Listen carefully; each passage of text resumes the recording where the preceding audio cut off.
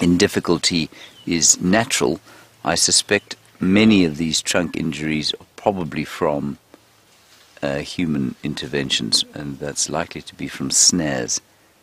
So we know that there are two, four million people living on the boundaries of the Kruger National Park, most of them in abject poverty, and that means that people go hunting for, not for elephants. It wouldn't have been intentional that. It would have been to try and catch something like a, um, an impala to eat to feed the family.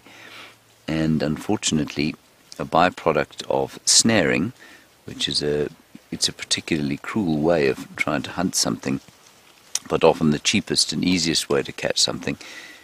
Well, a byproduct of that would be an elephant that gets its trunk caught in a snare. That said, that elephant, although it looks a bit odd, is surviving, and I've no doubt it will survive. That is not a fresh injury at all, and so I think it will be absolutely fine. And we've seen many, many elephants out here with sort of bits of their trunks missing, and they get by, you know. They drink by sticking their faces into the water. They go down on their knees. There's a big bull who's missing half his trunk. That's how he does it.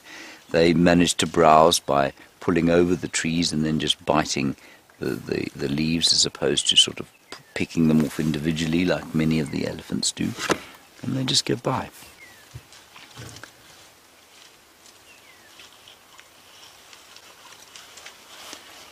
And eating there, quite interestingly, again, we were discussing the other day um, the eating of less than fresh bush, for example, bush that is, um, well, old leaves that have fallen off the trees.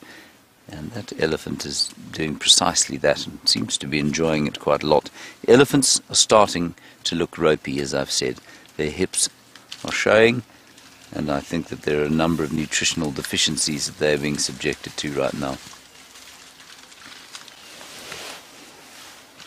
Let's just see where they go. I will try and move into a better position. But they're moving because there's also another vehicle coming.